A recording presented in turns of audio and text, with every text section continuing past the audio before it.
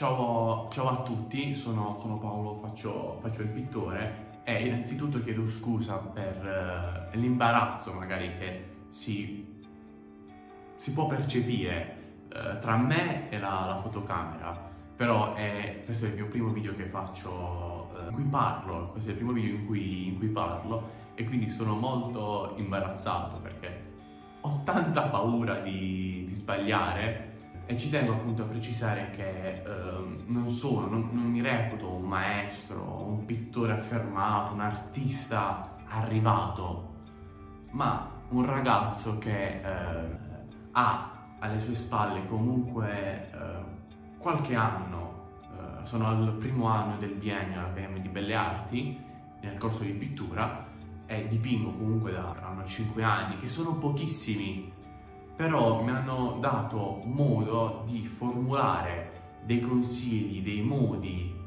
per migliorare, che poi voglio condividere con, con voi, eh, come se fossimo eh, una grande compagnia d'arte, un punto di incontro, questo canale potrebbe essere un punto di incontro per me con tanti altri artisti eh, affermati o giovani artisti per poterci scambiare le, le nostre idee, eh, ciò che pensiamo sull'arte. Mi piacerebbe molto come, come cosa.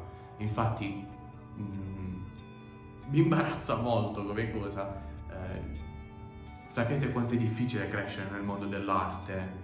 Eh, in primis vi chiedo di, di lasciare un commento, piuttosto di condividere la vostra idea in base a ciò che dirò poi, ma anche di condividere le vostre esperienze, di lasciare un mi piace se potreste appunto ritenere utile ciò che, che sto per dire e niente, basta con questo uh, questa premessa e incominciamo con uh, cominciamo a parlare di ciò che voglio appunto raccontarvi. La prima cosa fondamentale per chi fa per chi vuole intraprendere questa carriera è fidatevi, è una cosa che può dirvi chiunque, è universale, volontà e passione.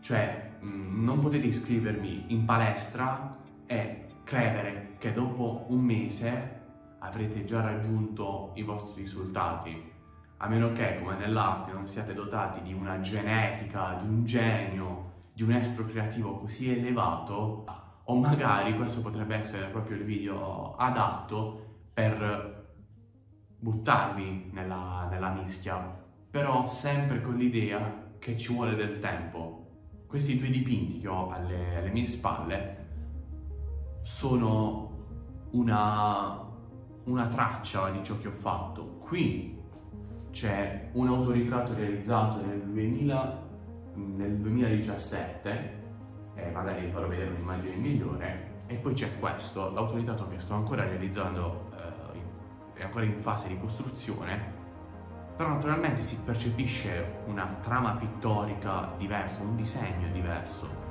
Naturalmente non sono passato da questo a questo così.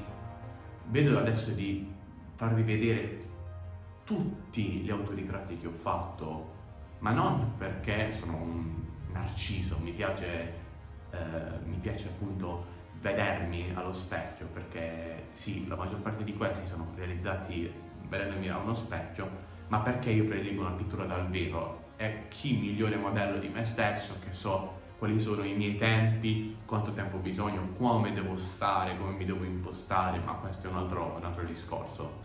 Quindi, ehm, collegato a questo, al progresso, eh, collegato alla volontà di fare le cose, ci deve essere anche una volontà nello studio. Anch'io eh, inizialmente...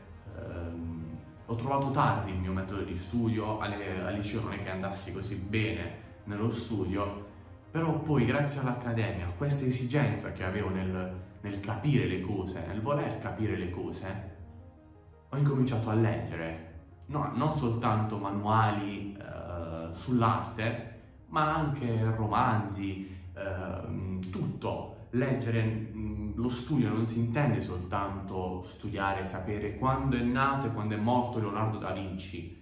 Questo è più un fatto storico, ma sapere prima di tutto che cosa un pittore deve, vuole esprim- voleva esprimere o vuole esprimere nel caso di, di pittori contemporanei.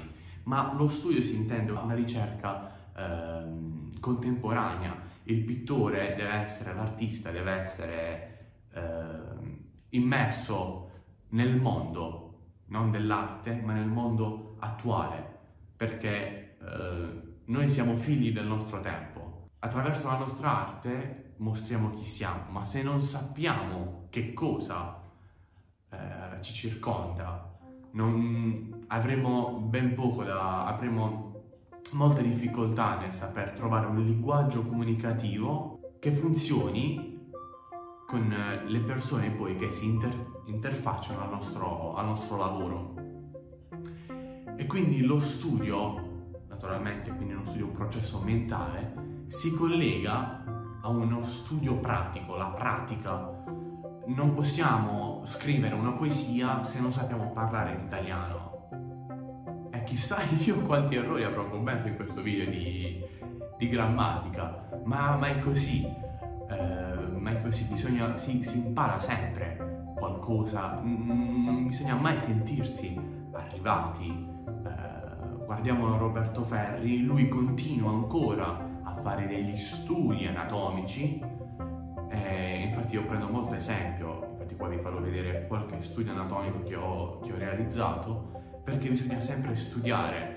Nel mio caso, in cui prediligo una pittura figurativa, studio la figura umana in tutte le sue forme, quindi a livello eh, scheletrico delle ossa, a livello muscolare, eh, a livello dinamico, nelle espressioni del volto, specialmente io che sono maggiormente un ritrattista. E lo studio è qualcosa che deve essere, la, la pratica deve essere qualcosa che bisogna sempre portare avanti.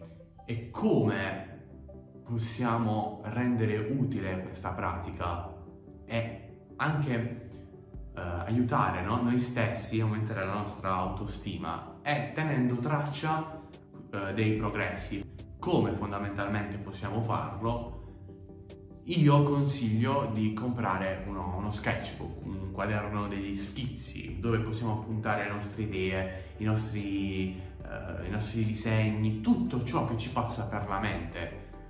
Non disegni che devono essere per forza delle vere e proprie opere d'arte, cioè togliamoci dalla mente che ogni cosa che facciamo è un'opera, è un'opera d'arte.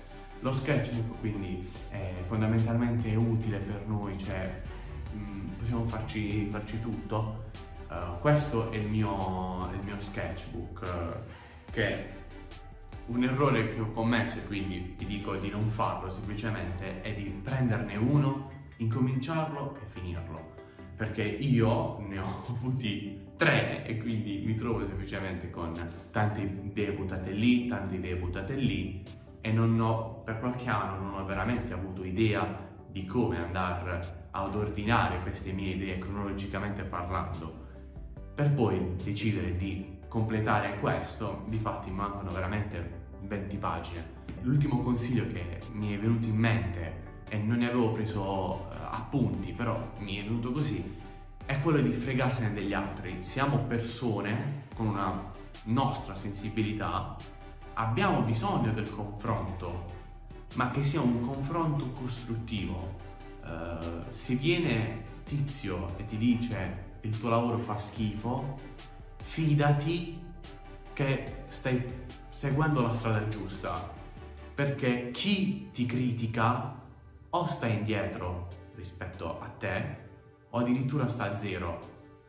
Fidati soltanto delle persone eh, per la quale hai una stima, eh, che ti senti collegato a loro, quelle persone che hanno una sensibilità molto eh, pura, elevata e non quelle persone che, eh, parlo per esperienza, vengono da te, eh ma tu fai così, non sei buono, dovresti fare quello e poi magari non sanno nemmeno tenere un pennello tra le mani.